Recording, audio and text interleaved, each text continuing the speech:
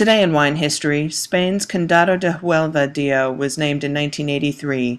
These wines are also known as the wines of the discovery of America. Also, the Columbia Gorge AVA was designated in 2004.